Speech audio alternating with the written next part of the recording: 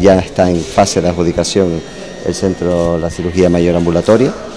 eh, por lo cual el laboratorio se hace todavía más necesario y el Cabildo Conimetiza está colaborando intensamente, cosa que le agradezco eh, públicamente. Por otro lado también eh, viene lo que es el TAC,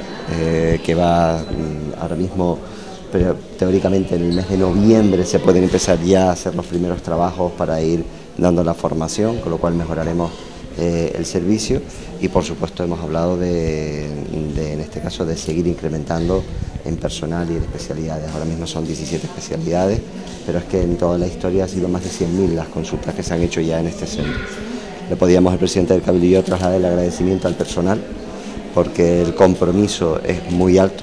con, la población. Muchos de ellos son de aquí del norte, con lo cual eh, tienen todavía un mayor grado de compromiso